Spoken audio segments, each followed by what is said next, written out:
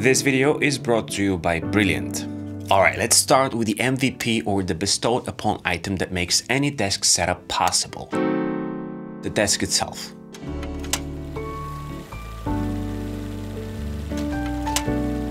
What you see is the Smart Desk Pro by Autonomous. I chose the classic size of 53 by 29 inches because I wanted the desk to utilize the specific corner of the studio. Now I've had large desks in the past and it turned out that I prefer more compact dimensions. This particular size is ideal for my requirements. The desk comes disassembled and is packed with all the necessary tools and instructions to handle the process with ease. Given my studio aesthetics, I went for the black frame with the walnut tabletop which I think it looks clean and stealthy in the corner, especially if I close all the curtains. This motorized desk can be adjusted in height as you can expect to match any work needs. I have three positions memorized, one sitting, one standing, and one for recording memorized at the desk's lowest position. The dual motors of the desk are tranquil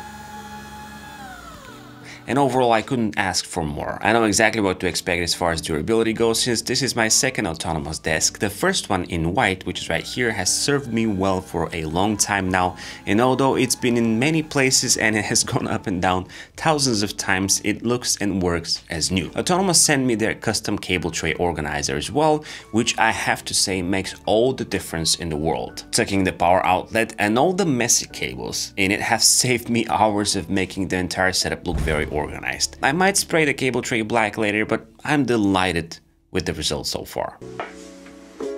The desk mat on top of the walnut top is by Orbitkey and it is the large version in black. This mat creates visual structure to the desk and besides being a giant mousepad, it serves as a document stashing place thanks to the clever document hideaway. It also has magnets built in, which thanks to the provided magnet clip helps point the few cables on my desk on the right path. The top ridge or toolbar is also great for keeping pens and other knickknacks occasionally.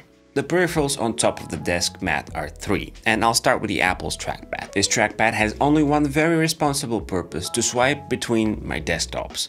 I constantly drag multiple files and assets between my desktops, and as I grab them with my mouse, I can quickly move around my spaces thanks to the trackpad. When my mouse dies, it's also great to have a backup pointing device while switching mice. Talking about mice, or mouses, mice? I use the glorious Model O mouse by PC Gaming Race. I know not a very Mac oriented choice, but this mouse was a gift by a close friend of mine and as someone who knows very little about esports I got mesmerized by the lightweight of this mouse and most of all the precision. Although this is an RGB mouse, I have the lights turned off because I'm not a gamer per se, and preserving the battery matters more. My only regret is that this brand does not have a decent Mac support to customize the experience and buttons, but what are you gonna do? The keyboard that I use is iQUNIX L80 Cosmic Traveler Wireless Mechanical Keyboard. It is a very hefty Mac-oriented mechanical keyboard that can connect in three different ways. And yeah, it's very quirky. Mine, I believe, comes with the linear speed 45 grams TTC switches in an 83 keys layout. And it is just very satisfying to type on. Inspired by people's childhood dreams of becoming space travelers, this version of the keyboard is based on the IQ iQUNIX L80 frame, which I have a dedicated video on and I'll link below. There are even additional contrasting keycaps in the package that are just too cute not to showcase. Like the mouse, although it is backlit, I use it with lights turned off to squeeze out maximum battery life. Alongside the keyboard, I use a memory foam leather palm rest pad, which honestly is not necessary for this particular keyboard, but it's very nice to have, very forgiving and fluffy to use. I'm still waiting for my custom M1 Max MacBook Pro to arrive and in the meantime I keep relying on my trusty 13-inch MacBook Pro. I keep it propped vertically, cradled inside a Vaydeer vertical laptop stand. Honestly, I bought this stand just because it's black, but it turned out to have some features that I didn't consider. For example, aside from keeping the laptop propped, it can also accommodate my iPad if I use it as a second screen and it's quite nice actually. The most important accessory that has allowed me to use the 13-inch MacBook Pro as a workstation this year, by the way, is OWC Thunderbolt dock. I've been using OWC items for a long time and all of their products are exceptionally dependable. This dock has all the ports I need and powers the entire setup allowing me to plug only one cable to the MacBook Pro. This cable powers the laptop, runs picture as well as data from all the other ports and it's just amazing. In previous setups I kept the uh, docked velcro underneath the desk, but this time I gave it justice and I kept it on top because it looks as good as it is versatile. A new addition to my desk is the Elgato Stream Deck. Although this accessory is usually reserved for gamers, it turns out it is an excellent addition for studios like mine where I have a lot of smart bulbs, lights and outlets that I want to control easily. I purchased this Stream Deck to yell less at Siri about what lights I want to turn on and off, but it turns out that this deck is great for other tasks like creating workflow shortcuts, like in Final Cut Pro for example.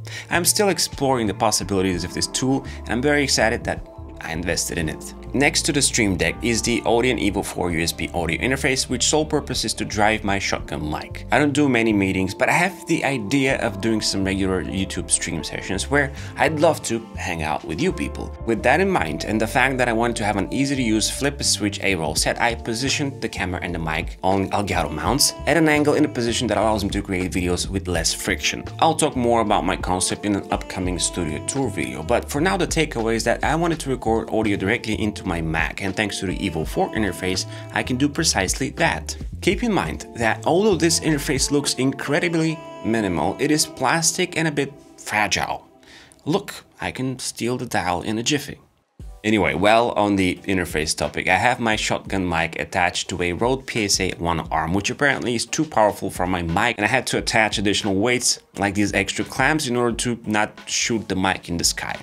The microphone, by the way, is the Sennheiser MKH416, which is a gold standard in the YouTube industry and in Hollywood as well. The speakers that I've been using for a long time now are by Kanto model number YU2. These are powered speakers and I absolutely adore them. I have a dedicated video on them as well if you want to check it out below. Although they have a flatter profile, I find them more than enough for my needs. Now I've been tempted to purchase the Kanto subwoofer as an addition, but this would make the entire setup more clunky, so I'm okay for now. A new addition to them are the little stands that I purchased. My initial voice edits are always performed with headphones before I can resume my work on the Kanto speakers.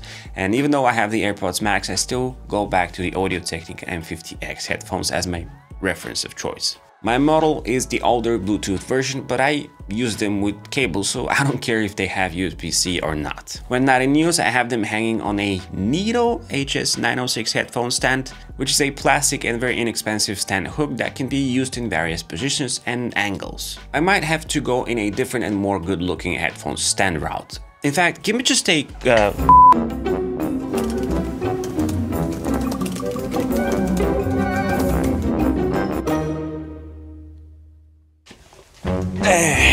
and done. Just found a better solution. Isn't it fascinating how quickly we can find things these days thanks to the power of search engines?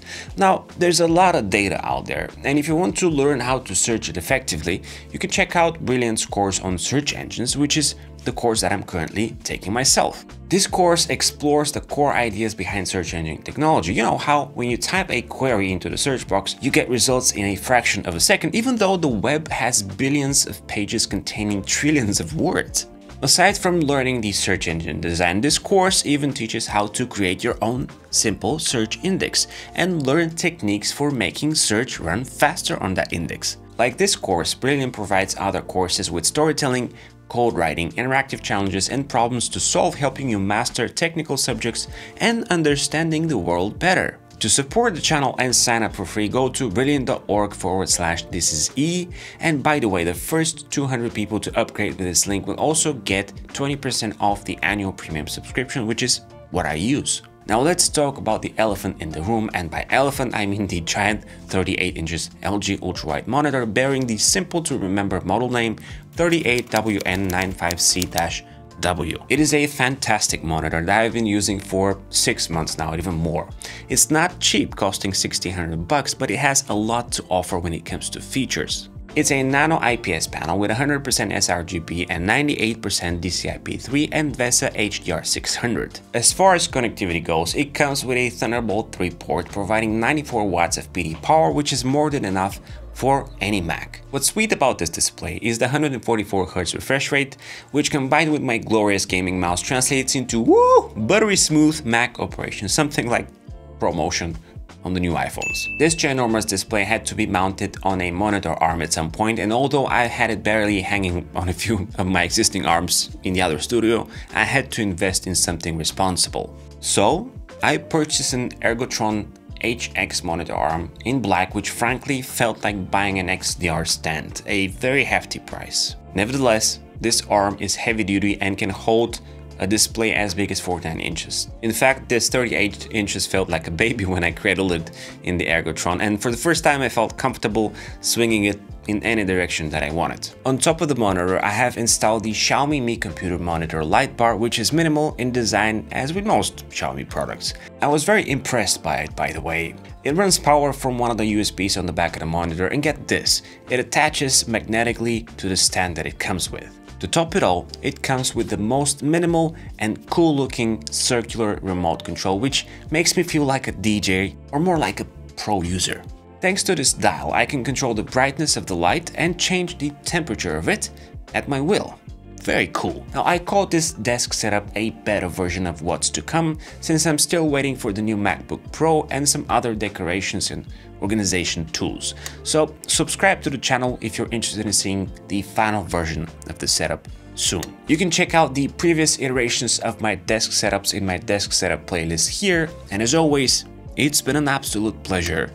This is E, over and out.